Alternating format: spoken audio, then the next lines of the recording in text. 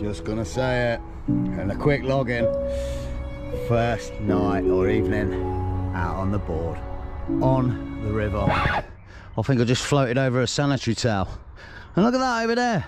Bloody Carlsberg. Seriously, who drinks Carlsberg anymore? Oh. Burger. Burger carton. Looking good there. Ah, it's like a, a little journey of mystery, like what you can find.